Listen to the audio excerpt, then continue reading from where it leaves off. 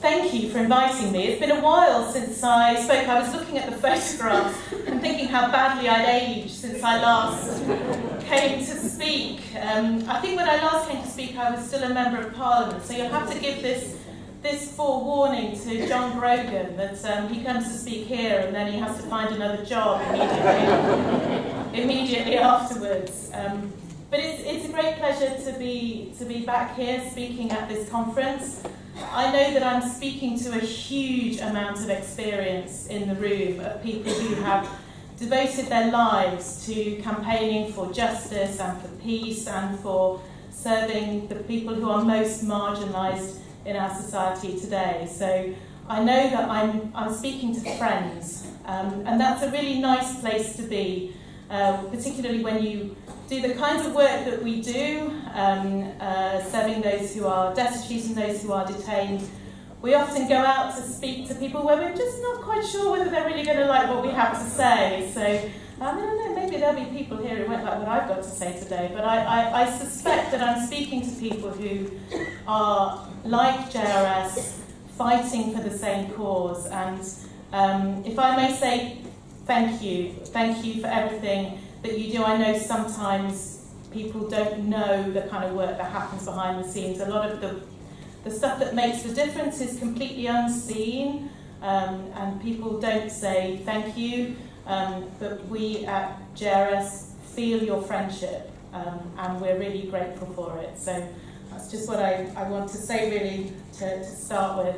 So since I um, since I last spoke here, which I think was four years ago maybe, um, uh, I went to go and work for uh, the Jesuit Refugee Service, first of all working with the international team, um, and I was on the road for most of the time then, seeing the work that JRS does in East Africa and, and the Middle East.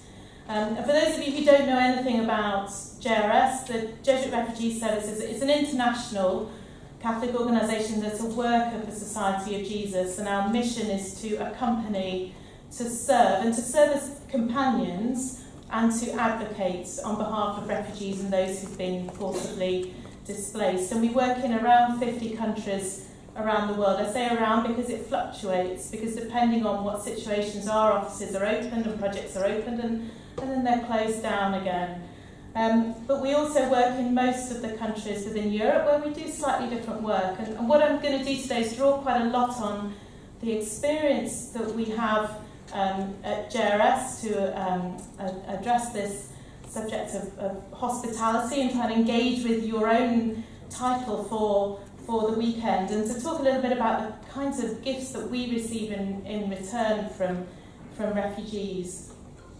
So this, this lovely title that you have for the, the whole conference, in the shelter of each other the people live.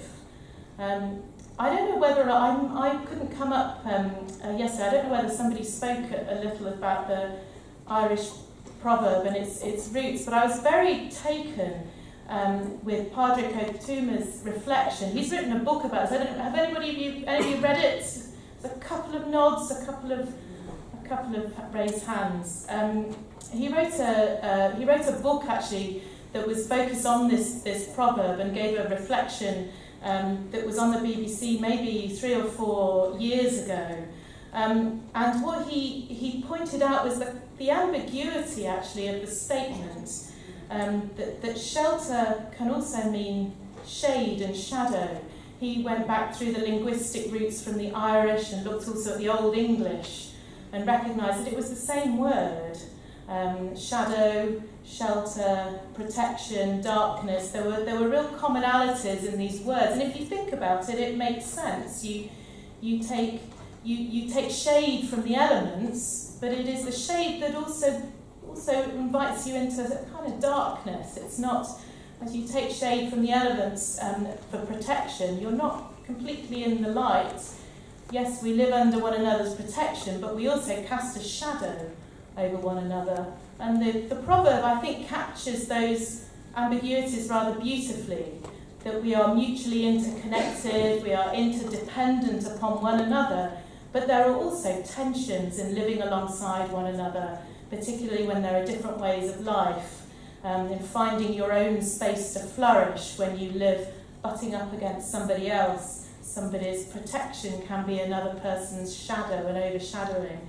Um, so I, I was very taken with what he said, and it was kind of, I suppose, the starting point for my own thoughts about how I might address this topic as I was um, speaking to you today. And, and I, I, want to start with the shadow because um, unless we start with the shadow area, the place where um, asylum seekers in the UK are, are, are forced to live, it's very difficult to say anything very meaningful about anything else. So, so that's where I, I, I would like to, to begin. So the people who we serve at the um, Jesuit Refugee Service in the UK, um, we serve particularly those who are made destitute by the asylum process and those who are held in immigration detention. And we've had that special ministry really more or less since we began um, around 20 years ago, and it's become, I suppose, more of a particular um, expertise and focus um, as time's moved on. And we do that work because the Jesuits ask us to work with those who are most marginalised um, in the places where other people are not able to serve. Um, and because of uh, the support we have from the Jesuits and also from the wider Catholic community, we're in the very privileged position of being able to work with people that um, many other organisations would struggle to do because it's so difficult to get funding and support. We work with people who are the subjects of the hostile environment agenda. So you will have seen a lot of coverage in the last few months about Windrush, I imagine. It's kind of hard to miss it. But the point about the Windrush scandal was that what was happening to those people who came during the Windrush era um, under the hostile environment web of policies was, was accidental, if you like, or at least they were unintentional consequences. Whether it was completely accidental, perhaps we can debate. But they were not the intended subjects of this hostile, um, hostile web of policies. The difference with the people who we work with is that they are absolutely the intended subjects of the government's agenda which changes, in a sense, the moral sphere with which we address the problem. Um, and it also makes it a lot more difficult to get movement on this issue. But everything that you saw in the press that was happening to people um, who came during the Windrush era, all of the horrible situation about ending up in detention, being made destitute, losing their job, not being able to get treatment, um, not being allowed to work, the isolation, the fear, the suspicion that they came under, it's the same story. So, so if you're looking for a kind of image, a place to, place to go, um, somewhere to help you to understand what I'm about to say, that's a pretty good analogy. So what's it like to seek asylum in the UK and where does the UK fit when we're thinking about the kind of wider issues around refugees. Stats is always difficult because people don't always have an instinctive grasp of what a statistic means. But I'll tell you there are around 65 million people displaced from their homes around the world. Most of those people are displaced either within their country or to neighbouring countries, usually to some of the poorest areas of the world the places that receive the most refugees are often the countries who are already poorest and already struggling. In the UK, we receive around 30,000 asylum applicants a year. So it's a tiny number. It's a really tiny number. Very, very few people actually make it here to claim asylum. But those who do make it here have a very difficult time.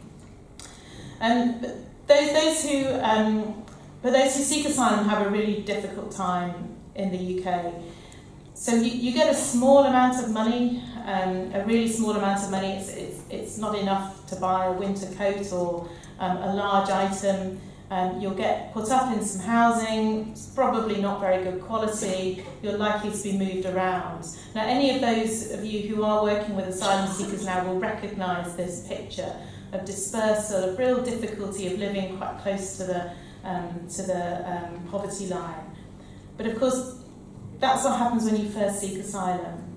So you get some financial support. The problem arises if you can't get the government to recognise that you are a refugee, that's when things really begin to become very difficult indeed. Now, why does that happen? You might, you might imagine, well, of course, you know, surely the system is fair. Surely it, it treats people fairly. They've been through a system. If somebody's been rejected, well, well, you know, surely you know they've, they've had their chance to prove their case. Well, unfortunately, that's really not the situation. So the, the asylum process is deeply and profoundly flawed, and everybody who looks at the asylum process has pointed out the flaws over and over and over again. Independent reviews, charities, lawyers, there's hardly anybody who hasn't pointed this out. We've had Home Secretaries describe the Home Office as not fit for purpose, but we're still where we are. And the people who suffer from this are not the ministers who have to take the questions in Parliament, they're the asylum seekers who experience the system. Access to legal aid has also got a whole lot more difficult. The amount of time that a lawyer has to spend time with people to really look at the detail of their case, it's, it's much more difficult to get good quality legal advice. And everybody faces the same hermeneutic of suspicion that you saw with those who struggled from the Windrush era to get the Home Office to accept that they had a right to be here. Country information is often flawed. We've had all sorts of scandals about Eritrea, for example, but it's not the only place where the information that's used to decide whether or not you are a refugee is from dubious sources. Now, around 40% of those whose cases is turned down initially get it overturned on appeal. That should give you some sense of how bad the initial decision making is. And we know that some people really struggle in particular to get a fair hearing. So if you're gay, you really struggle. If you've been a victim of sexual violence, you really struggle to get your case heard and understood.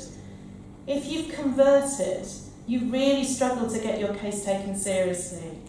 People ask you some daft questions. They ask you some daft questions if you're trying to prove that you're a Christian. I mean, stuff I certainly wouldn't know. I mean, bizarre questions. And we see many of those kinds of cases in, those, um, in the people who we serve at the Jesuit Refugee Service.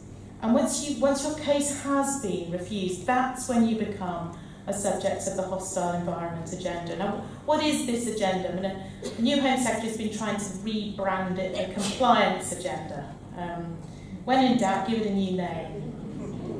Unfortunately, it's the same stuff. But it's a whole web of different policies aimed to make life really difficult for you. Lots of different bits and pieces joined together, which is why it's, you can't just unpick one thread. It's to do with the ways in which data is shared, the fact that you're made destitute and you're not allowed to work. But on top of that, what's come more recently is that it becomes a criminal matter if you seek work. So I, mean, I always find it extraordinary, actually, that the Conservative Party would criminalise working, but they have. Um, it becomes a criminal matter.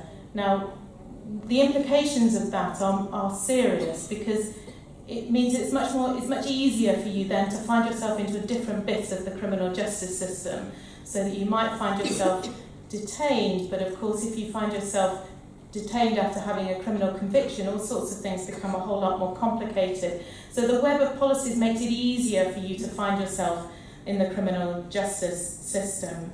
You're not allowed to rent property. There's also a question mark over whether it's okay for you to stay with your friend who's renting, and particularly if you're staying in the longer term, because your landlord, your friend's landlord, can find themselves subject to criminal proceedings if they're renting to you who has no right to rent. So all sorts of people find themselves caught in this. All sorts of people are then forced to report that there is somebody here who doesn't have immigration status. What assets you had can be, can be um, claimed and frozen now, the new Home Secretary has actually put that on pause temporarily, but I don't have much faith that that won't be un, uh, unpaused and they won't begin that all over again. But in the um, aftermath of Windrush, they realised they were freezing all sorts of people's um, assets who shouldn't have been frozen. You're not allowed to drive your access to the NHS is restricted, and of course, you're liable to detention. So you just think about the kind of web of policies and the web of different things you can find yourself caught up in and what that really means for you.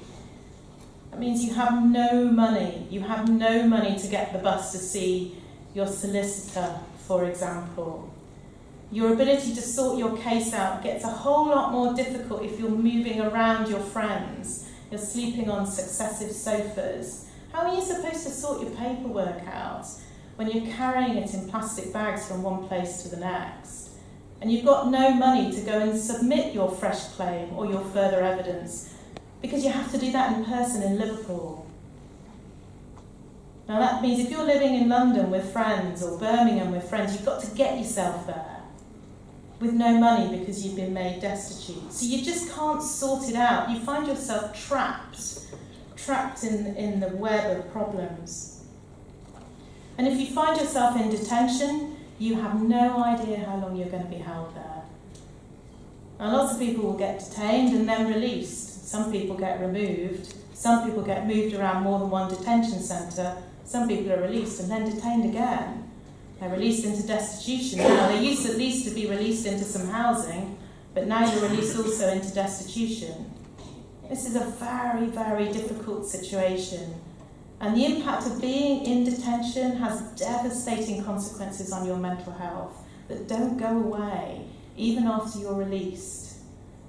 People feel very vulnerable afterwards, very afraid that that knock on the door will come again. They really struggle to process this, especially if the possibility of them resolving the immigration status that led them to be there in the first place has become even further away. There have been all sorts of scandals about the situation in detention. We've had Brook House expose. I think it's very easy in this situation to blame the private contractor and to find a few people to scapegoat. It's important to think that if you, and to remember that if you remove people from society so that they're not visible, and you do that against a background of demonising those people who've been placed into detention, it is hardly surprising when they're treated badly. It's hardly surprising. And what's important is to understand that these are political decisions rather than just blaming the person on the front line.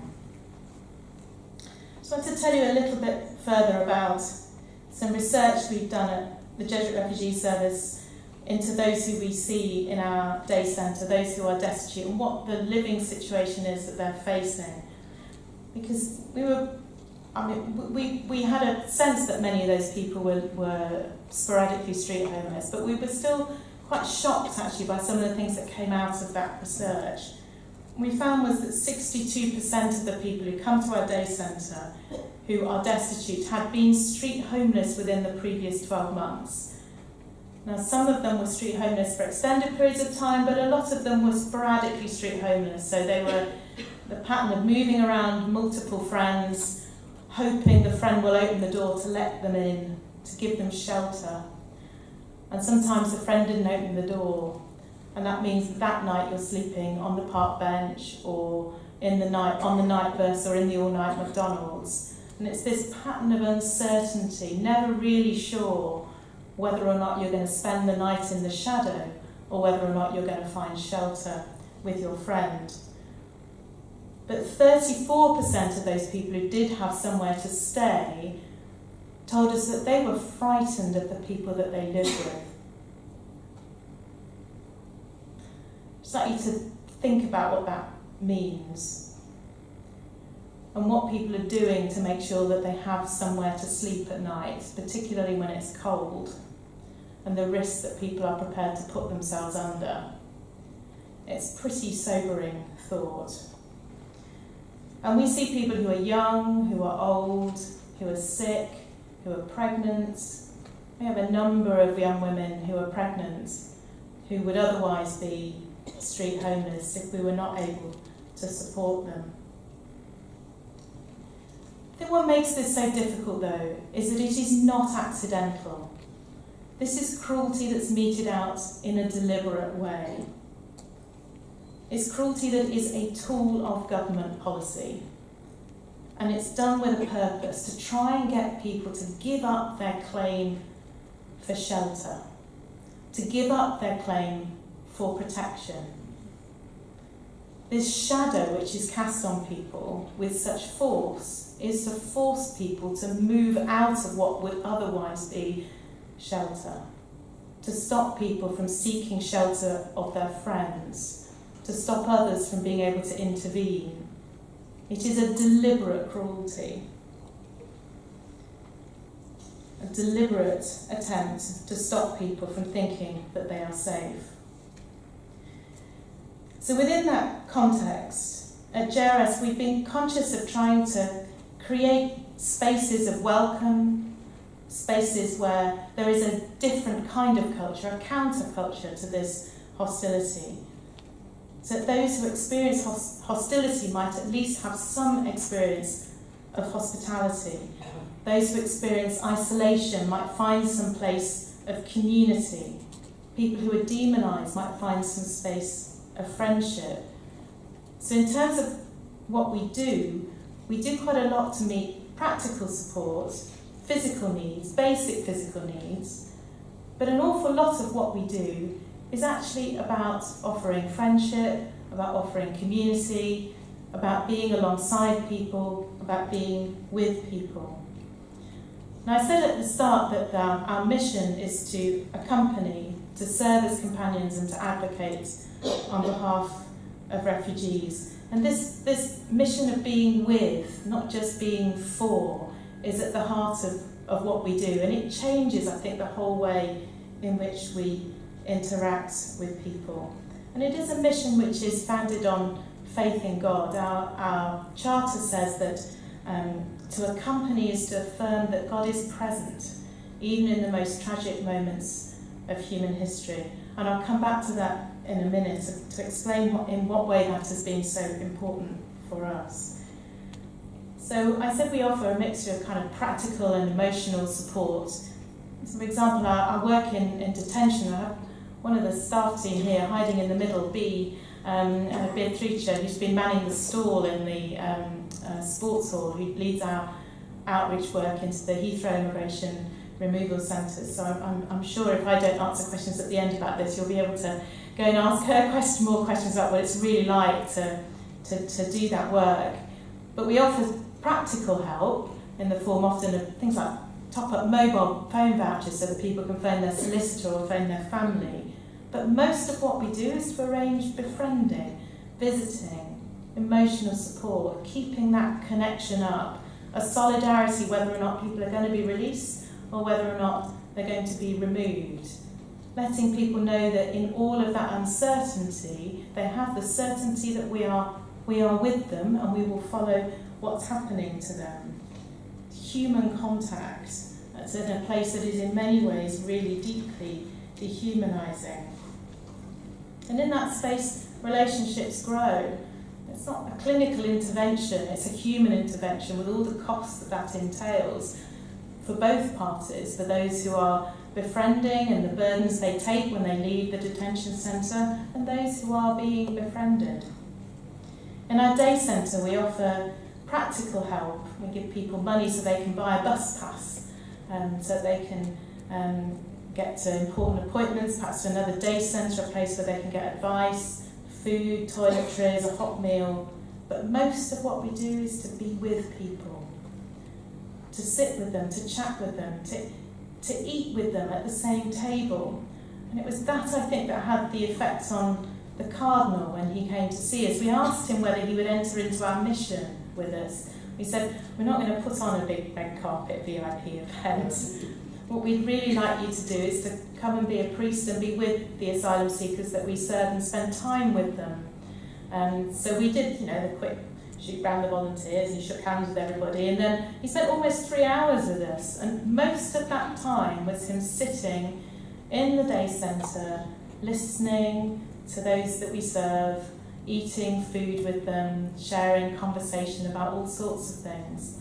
And he was deeply moved, and they were deeply moved that he had spent time with them and that he valued them enough to spend that time just being alongside them. And we run activities too for similar reasons, so that people can develop friendships with one another, not just um, uh, with staff and volunteers, but that community can begin to grow and to develop. And we provide um, hosting, uh, a hosting service working with religious communities. This is one of the more moving things we do actually in terms of the immediate impact. We have, we have all sorts of extraordinary, um, uh, uh, particularly some of the women religious who work with us. I'm, I'm just amazed by um, some of the, the stories that they, that they tell and the impact of what they do when they open up their community to people who would otherwise be um, street homeless.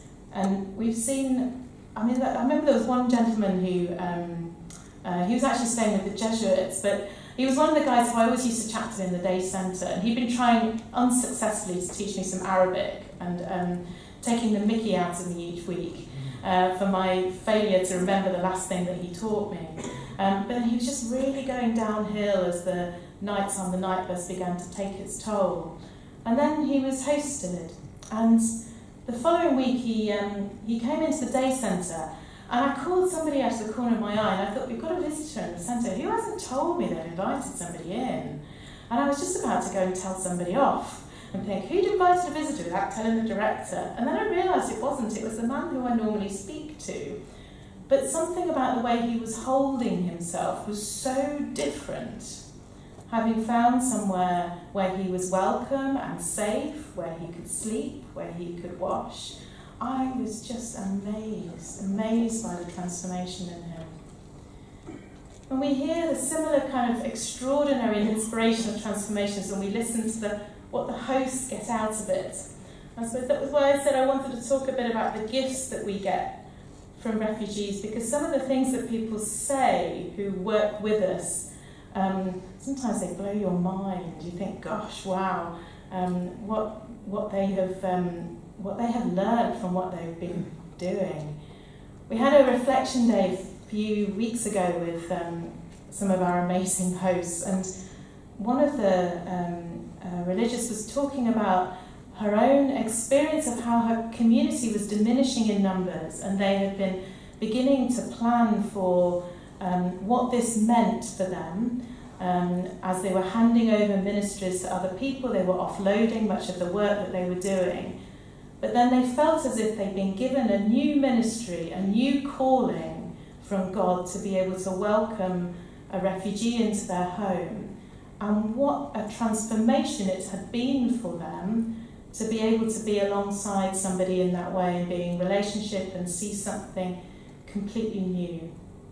It was intensely moving to see what grace had been given to them for that, what was actually quite a courageous thing to do as a quite a small community to open themselves up to invite somebody to share their community life who was from a completely different culture, often a different faith, um, sometimes very good English, sometimes broken English, and yet what, what life-giving effect that had had on them was, was just completely remarkable.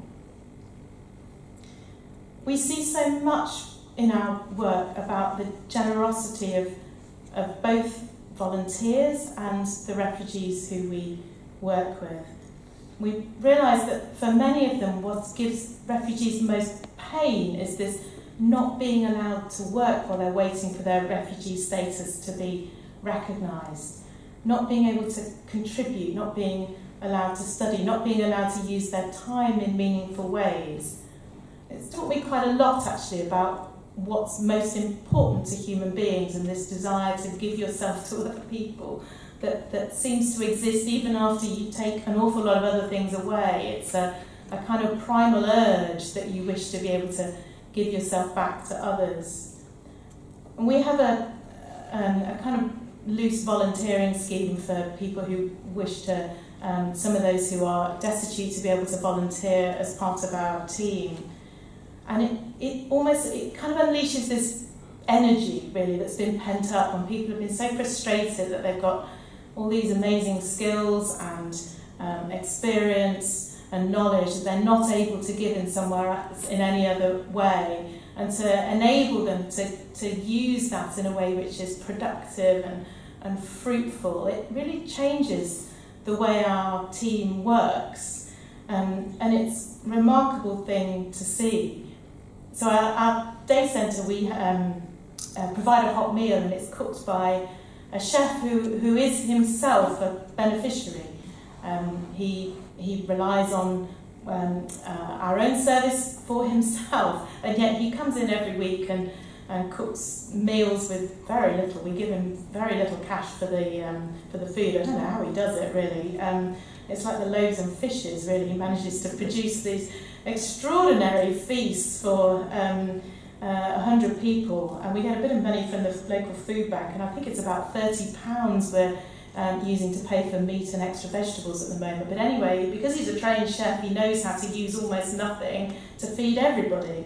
Um, there you go. Maybe Jesus was a trained chef. Um, maybe he had those kind of qualities. Um, but um, it's, I mean, it's just uh, extraordinary what he, he manages to do. Um, one of the other volunteers who gives out the money for the bus passes relies herself on getting the money in um, uh, for bus passes in order to get there, to give out bus passes to others. But she does it in a way with such sensitivity and knowledge. Nobody else could manage that. Um, she does something that the staff couldn't do. There's something about the way in which she deals with people that for me, embodies the spirit of our organisation much more than any of the staff. So, in all that we do, it is that spirit of encounter which is at, at the heart of our organisation. And I, I think I've been reflecting a little on, on what it is, why is it that it is so transforming to be able to spend time with somebody who has a life that is so different to your own and to spend life, spend time with somebody, particularly who has suffered so much at the hands of um, uh, injustice. I wonder whether or not it's just an, encounter with what is true, and that encounter with what is true about the world that you wouldn't otherwise see is in itself a kind of invitation to conversion. That you realise that there is something there that you haven't seen before. It opens your mind. It opens your mind to seeing a, a, a different way of a different way of the of the world. But I also have a, a real sense that we often meet God in these encounters with refugees. I said that our mission and our charter says that to accompany is to affirm that God is present, even in the most tragic moments of human history. When I listen to refugees' experience of their faith, it is very difficult not to hear those words that the Lord hears the cry of the poor. Blessed be the name of the Lord. It's very difficult not to hear that when you listen to what people's experience is, their experience of God being very close to them.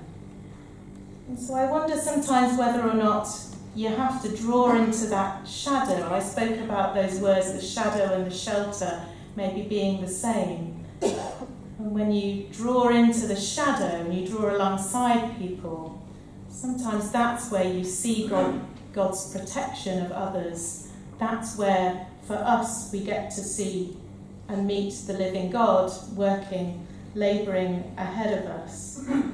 It's in that space that real relationships start to develop. It's when you draw alongside people and you hear what the refugees have to say about their lives and you share a bit about yourself that something magical seems to take place, something true, something transforming. I'm going to leave some last words to Pope Francis. He had um, there's a little paragraph from Gaudete et Exsultate that captures something of this for me. He says, amid the thicket of precepts and prescriptions, Jesus clears a way to see two faces, that of the Father and that of our brother. He does not give us two more formulas or two more commands. He gives us two faces, or better yet, one alone. the face of God reflected in so many other faces. For in every one of our brothers and sisters, especially the least, the most vulnerable, the defenceless, and those in need, God's very image is found.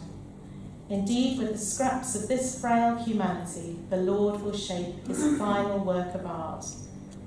For what endures, what has value in life, what riches do not disappear? Surely these two, the Lord and our neighbour, these two riches do not disappear. Thank you.